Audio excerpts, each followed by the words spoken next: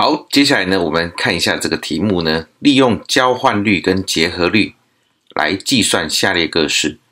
请注意，你不需要刻意的要使用交换率或结合律，你的目的呢是要计算，所以呢，你只要记得好算就好了。怎么样算才能够比较好算？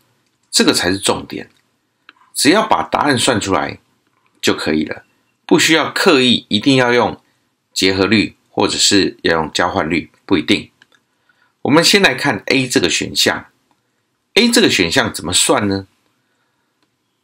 请看第一个负二十跟第三个负五，这两个乘起来先乘，这个是利用结合律与交换律。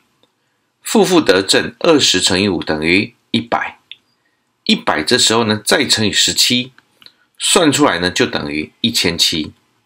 好算就可以了。B 选项，这个 B 这个题目，请看一下。首先呢，你必须要对这个数字稍微有一点敏锐的敏锐度。一二五乘以八，一二五乘以八其实是一千。也就是说呢，这个题目是一千乘以负九，等于负九千。有些同学就说，那个他看不出来一二五乘以八等于一千，那怎么办？